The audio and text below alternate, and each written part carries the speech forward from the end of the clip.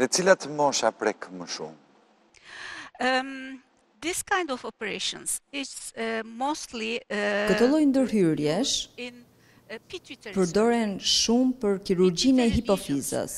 Are um, encountered more uh, Dëmtimet uh, gjenden më shumë uh, në moshat uh, yes. e reja. njëzet deri në njëzet e një vjeç deri edhe në gjashtëdhjetë deri në shtatëdhjetë vjeç, sidomos adenomat hipofizare, të cilat janë më të shpeshtat. Një në pesë persona ka adenoma hipofizare. Kjo s'do të thotë që na vijnë përditë pacientë me adenoma hipofizare. sepse nuk shfaqin simptoma ose nuk është gjetur gjatë kontrolleve rutinë gjatë gjithë jetës. Dhe asnjëherë nuk e kupton dhe ti mund të jetosh deri në fund të jetës me këtë gjë, po? Po. Ne ndeshemi shumë e më shumë me incidentaloma, i quajmë ne. S'kanë simptoma. Por për shembull, kur keni një dhimbje qafe ose koke dhe bëni një skaner të qafës, te imazhi mund të vihet re një tumor në hipofizë. Prandaj e quajmë incidentaloma. Këta pacientë referohen te neurokirurgët pa simptoma dhe ne studiojmë rastin për të vendosur nëse ka nevojë për operim apo jo. Jo çdo adenoma ka nevojë për operim. Atëherë, kur ne duhet të shqetësohemi? Kur na vijnë simptomat e para dhe cilat janë ato simptoma të forta që tregojnë që ka pikërisht këto probleme në tru? We have two kind of symptoms. Kemi dy lloj simptomash të lidhura me dëmtimet hipofizare. Simptomat e para janë nga efekti i madhësisë tumorale. Hipofiza është shumë afër nervave të syrit.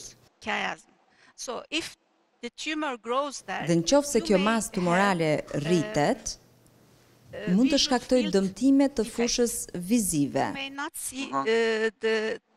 sidomos fushëpamjen temporale.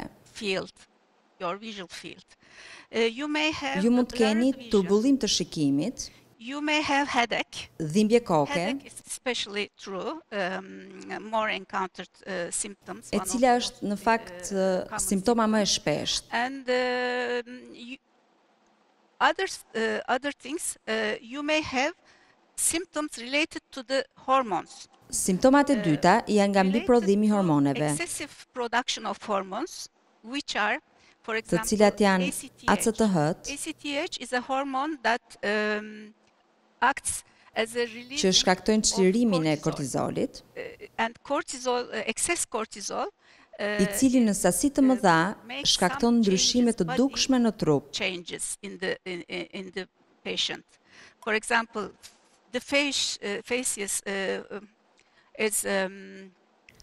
si fytyra e kuqe, mbipesha, hipertrikozë, pra rritja jashtë norme e qimeve në trup, stria vjollcë në trup, hipertension, diabet, një spektrum i gjerë simptomash që marrin emrin e sëmundjes Cushing.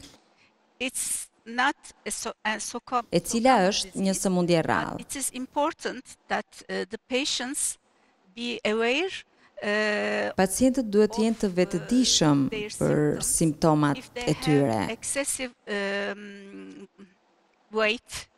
Për shembull që kur nuk humbasin dot peshë, pavarësisht mundimeve, hipertrikozë dhe kanë stria vjollcë, është koha që duhet të shkojnë dhe të vizitohen nga endokrinologu, i cili përcakton